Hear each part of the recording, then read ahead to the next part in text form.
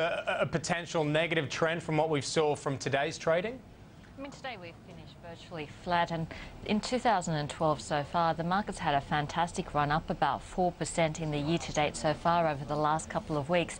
So it is healthy to see a little bit of consolidation. So hopefully, what we will see is some sideways movement. We've still got that 4,200 point mark holding, and the upper end of the trading range that we've been in over the last six months is at 4,350 points. So still a fair way to go there, and I guess traders just hoping for a bit of consolidation at this point.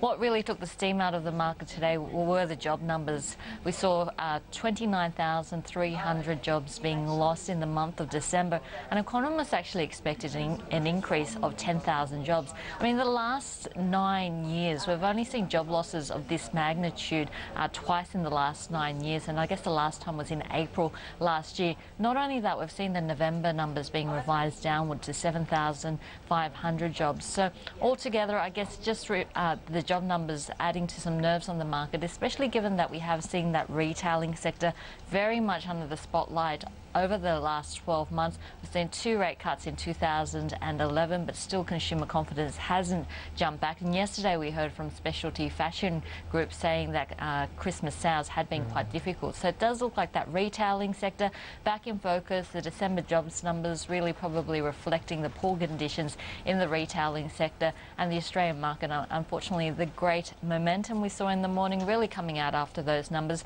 I guess the good part of the market is that we have seen volumes bounce back. Yesterday we cracked the $4 billion traded mark for the first time. We saw $4.6 billion being traded hmm. today and the first uh, index options expiry for the year so far. And we're going to touch on some of the, the corporate news we got today. We'll go into a little bit more detail later in the show. But Julia, uh, Woodside, um, Francesco brought it up, a, a, pretty decent sort of set of numbers, particularly I suppose considering the, the cyclone impacts that they had. But uh, investors sold the stock off pretty harshly. This was a, a, big thing on the Australian market today, the turnaround that we saw in the energy sector. It started off being one of the best sectors of the morning, and by the afternoon, we actually saw a loss of 0.4% in this sector, mainly driven by Woodside Petroleum, which was down by 1.9% after the session. Now, this is after a fourth quarter production result, which was better than expected, and full year production numbers, which were better than expected as well. And if we have a look at Woodside Petroleum, uh, the production numbers for 2012 are expected expected to see a substantial jump as a result of Pluto T1 coming online.